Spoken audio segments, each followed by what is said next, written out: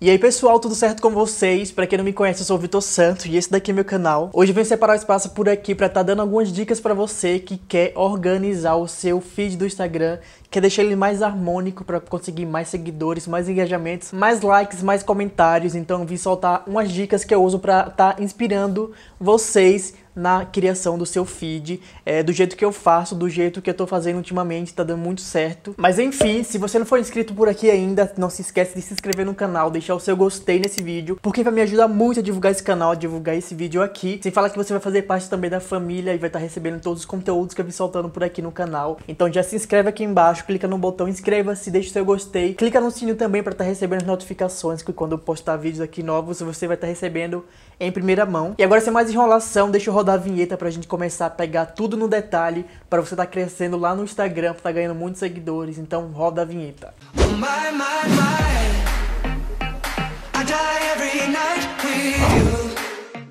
Quem me segue lá no Instagram sabe que eu tô a todo tempo tentando organizar meu feed, deixar ele mais harmônico, para deixar aquela coisa mais bonita, para tentar conseguir mais engajamento, mais seguidores. E eu sempre recebo algumas perguntas de novos seguidores, sabe?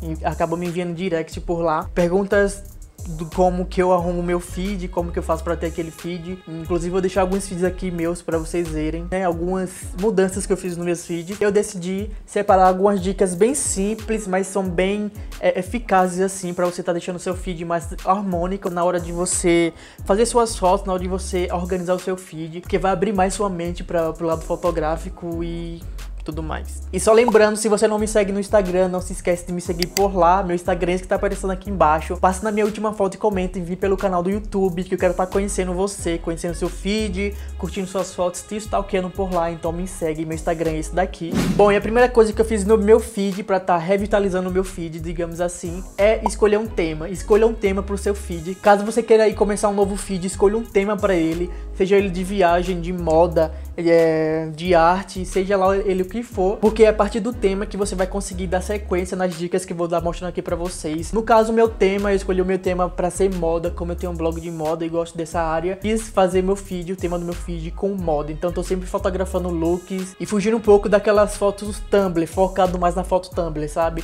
Eu tento mais focar no lado fashion da, da coisa, né? Então escolha um tema pro seu feed. Tá, e agora que você escolheu o seu tema do feed do seu Instagram, já escolheu o seu tema, já sabe quais fotos que você vai fazer, ou então se você quer dar continuidade com as fotos que você já tem no seu feed, o próximo passo é para você fazer o quê? Extrair a sua paleta de cores do seu feed, sabe? E para isso tem um site chamado Color Cooler, acho que se fala assim o nome dele, não tenho certeza, mas ele extrai é, a sua paleta de cores do seu feed baseado nas suas últimas fotos. Ele vai pegar é, as cores mais evidentes assim do seu feed, no caso o fundo das suas, das suas fotos, né? É bem simples de você acessar esse site, você vai estar tá acessando aí. É só colocar seu usuário do Instagram e pronto, ele vai extrair uma paleta aqui com 6, 12 cores, na verdade. Eu extraí a minha aqui para vocês verem, vou estar colocando na tela. Eu extraí as minhas cores, eu decidi criar um, um feed baseado nessas cores aqui, com as cores mais neutras, com cores puxadas pro marrom. Se você reparar aqui no meu feed, vou estar entrando no meu feed para vocês verem, os pontos de foco da minha, da minha foto, vamos dizer assim, para ficar mais simples, para vocês entenderem. Se você reparar no meu feed, nas minhas fotos, eu procuro fotografar em chão com essa tonalidade mesmo da paleta que vocês viram. Tons de marrons, algo mais bege, mais clarinho, mais creme. Pode reparar nas minhas fotos que o chão vai ser sempre essa cor. Dou continuidade nas minhas fotos assim. Então pode ser parede, pode ser o chão. Isso daqui não é para você fazer tipo uma foto exatamente com todas essas cores, sabe? É só mais um detalhe que pode estar na sua cena, na cena da sua foto. Como já falei, pode ser o chão, pode ser sei lá, uma árvore, pode ser um objeto. Depois de você saber qual é a sua paleta de cores que está no seu feed das suas últimas fotos, que no caso é essa daqui, as minhas, então essa vai ser a cor primária, vamos dizer assim. Agora a gente vai para a cor secundária do nosso, do nosso feed, né, que é a cor que vai ficar destaque assim que todo mundo abrir nosso feed. Que no caso eu escolhi a cor vermelha, escolhi o laranja também e escolhi o azul em algumas fotos. Vocês vão ver no meu feed que tem muito disso, tem muito vermelho, laranja e azul. E basicamente você vai fotografar, fazer fotos com essas peças de, sei lá, de roupas, com objetos, com cenários com essa cor, sabe? No caso, eu posso fazer o que aqui?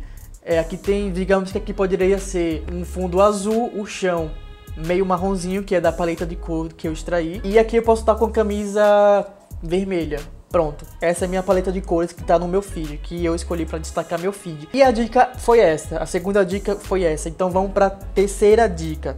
E essa terceira dica todo mundo tá cansado de ouvir, né? É sempre para quê? Para usar o mesmo filtro, o mesmo preset. Inclusive eu tenho uma loja de presets, se você tá precisando de presets para tá organizando suas fotos, organizando seu feed, visita lá meu site. Meu site é esse daqui. Tem várias coleções de presets para vocês comprarem que eu criei para disponibilizar para vocês. E é uma loja bem bacana, sempre rola promoções por lá, então visita aqui, tem uns presets bem bacana. Então é, é isso mesmo, é simples usar o mesmo filtro, seja de aplicativo, seja, seja preset. Você pode também usar o que? No máximo dois, dois filtros no seu feed, sabe? Mas o que eu aconselho é não deixar esses filtros tão, tão juntos, tipo, fazer um, depois outro, um e outro. E se você for usar o segundo filtro também, procura usar um filtro que seja um pouco parecido na tonalidade das cores, sabe? Que não modifique tanto assim, que fique tão diferente do primeiro filtro.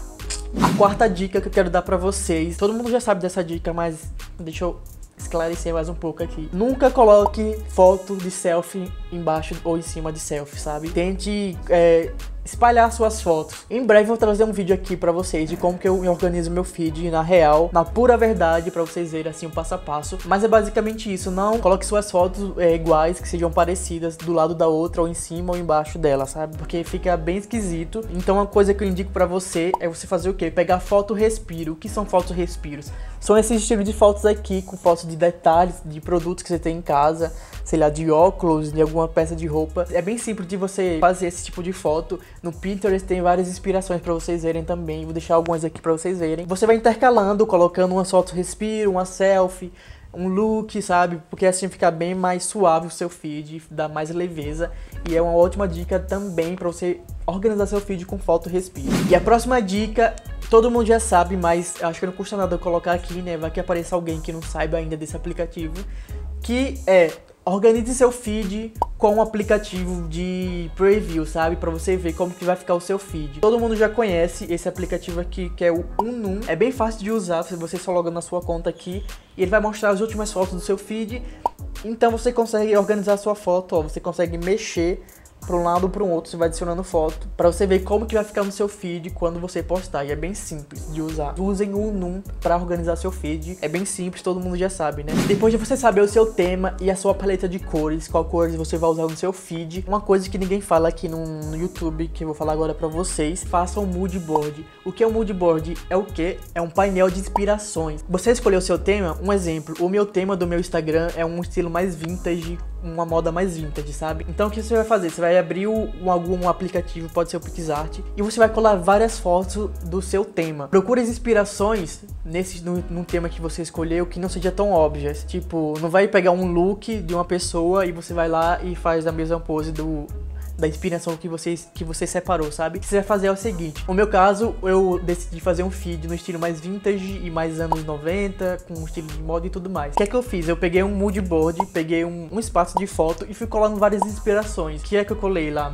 Que lembra muito o estilo os anos 90, anos 80. Eu coloquei All Star, eu coloquei xadrez, coloquei uma menina, é, coloquei jaqueta, alguns estilos de cores que lembra os anos 80, 90. Aí sempre que eu vou fazer fotos na rua, sempre dou uma olhada para ele, ou então então, uns dias antes, uma semana antes de fazer foto, que roupa eu vou usar? Eu dou uma olhada. Mas eu não, eu não uso a roupa que tá aqui no mood board, sabe? É só para abrir a sua mente, para você ver o que você tem no guarda-roupa e tudo mais. Mas é isso, faça um painel de inspirações com coisas não muito a ver para você copiar, sabe? Coisas bem. Enfim, eu vou colocar aqui meu moodboard que vocês vão entender basicamente como que funciona. A outra dica que você tem que fazer, com certeza, é seguir perfis que se encaixam no seu tema é, no tema que você escolher para estar tá fazendo o seu feed.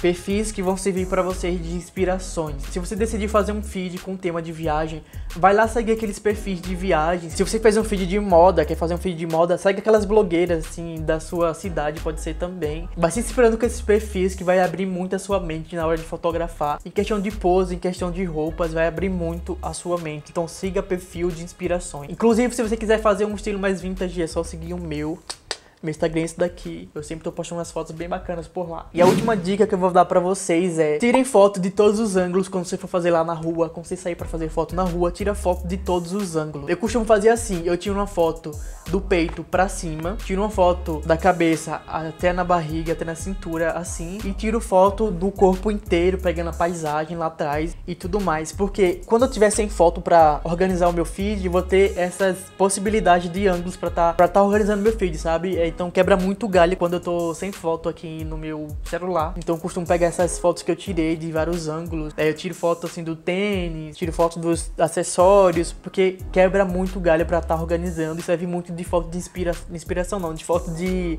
respiro. Esses ângulos assim ficam bem legais pra foto respiro. Então fica a dica, vai dar muito certo, sempre quebra o meu galho. Então, pessoal, essas foram as dicas de hoje. Espero que vocês tenham gostado muito. Não se esquece de se inscrever no canal também, deixar o seu gostei e comentar aqui embaixo algum assunto que você queira que eu traga aqui pro canal pra tá ensinando vocês, sei lá, tentando ajudar vocês com seu feed do Instagram, com um estilo de fotos. E eu tô aqui pra ajudar vocês muito. E é isso, até a próxima semana, até o próximo vídeo.